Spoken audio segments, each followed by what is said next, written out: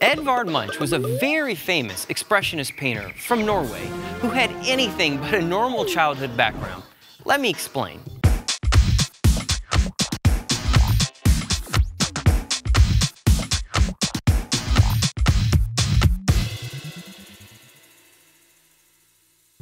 To begin, Munch lost his mom to tuberculosis when he was only five years old.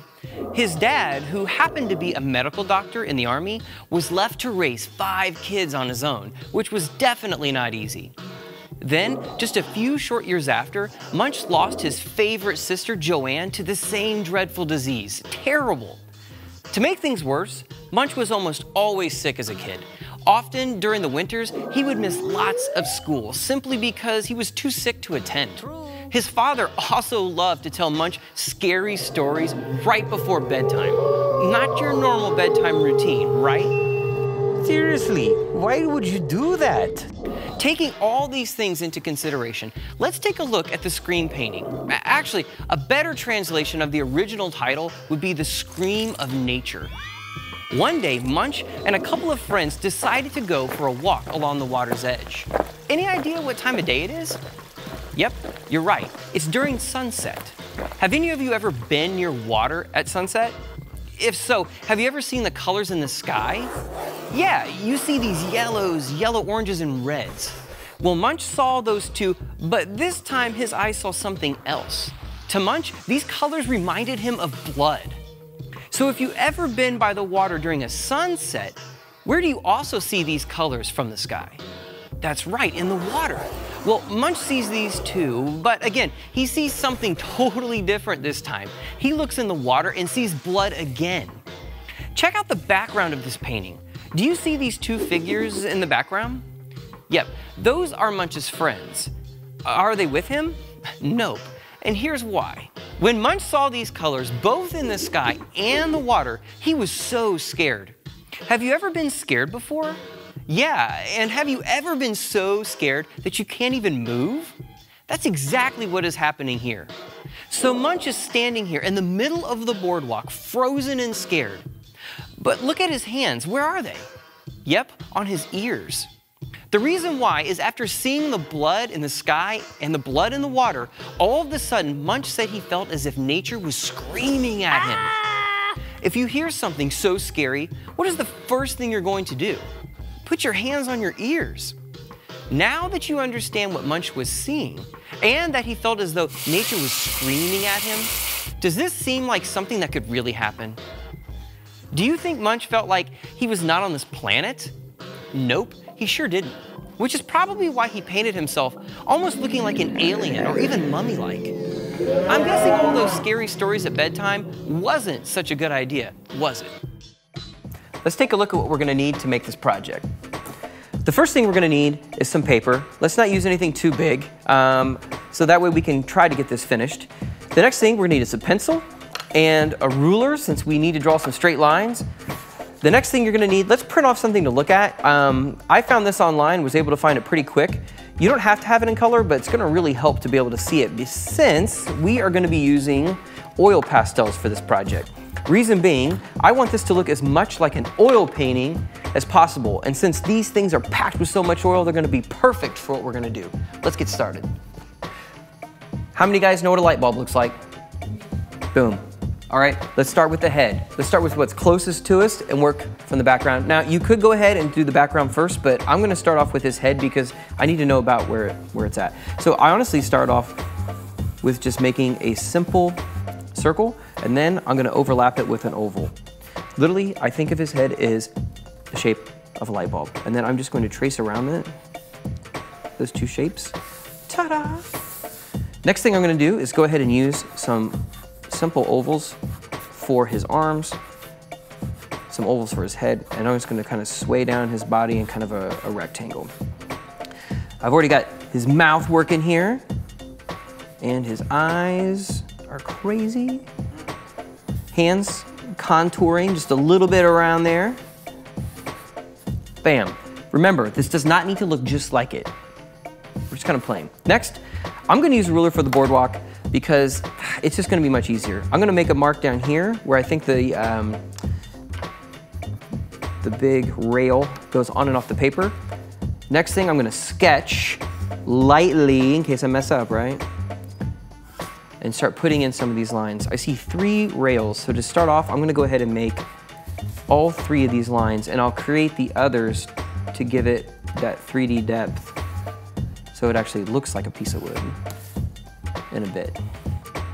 And one comes off the page here. I'm telling you, having something to look at is really, really, really helpful, especially with a project like this. Next thing I'm gonna do, and I'll come back and kind of refine this, we talked about the sky, right? So I'm gonna go ahead and put in that horizon line. Real simple, doesn't need to look just like it, almost looks like a wave. Next thing I'm gonna do, I see this little lake back here where we were talking about the two little boats back there. So I'm gonna put that in, and it looks as though this is like this big current kind of coming right at them. Again, some smooth, quick lines for that. And just for fun, I'm gonna put, real simple, these two little, they're just barely, you can just see the silhouette of them, these two little sailboats. All right, that should get us started. Don't try to over sketch it because we're gonna cover most of it up with oil pastel. To give you a quick idea, because I want you to really take it from here, what I'm gonna do to use these oil pastels is really think of them like I'm painting them with some, some really, really thick oil paint. So first thing I'm gonna do is lay down some orange, and you can hear and you can see, I am putting this stuff on thick. I'm gonna work from there into some of this red orange.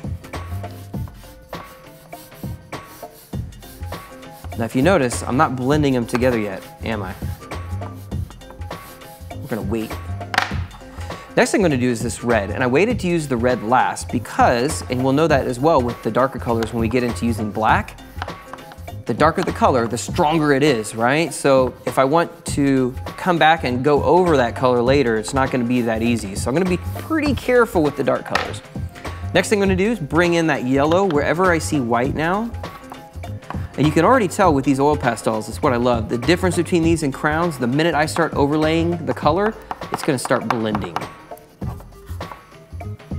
You might wanna find some place or put something underneath your paper because we're going edge to edge with this baby. So don't be afraid to accidentally get it off the paper.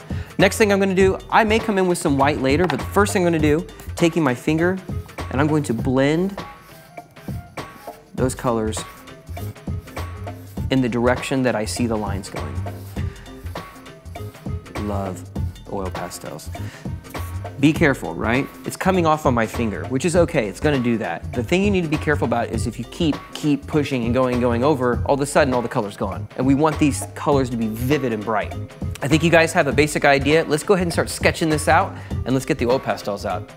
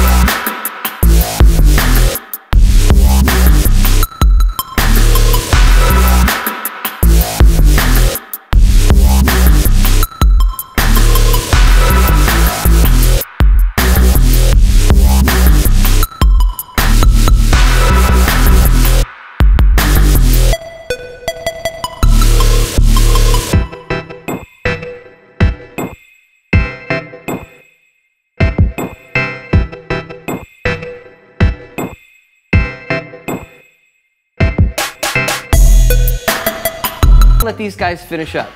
Be sure to finish the whole picture. I'm really excited to see what you create. Until next time, remember, be creative, be innovative, and be artrageous. We would love to see what you create. Share your projects with us on Twitter, Instagram, or Facebook by using hashtag ArtrageousNate.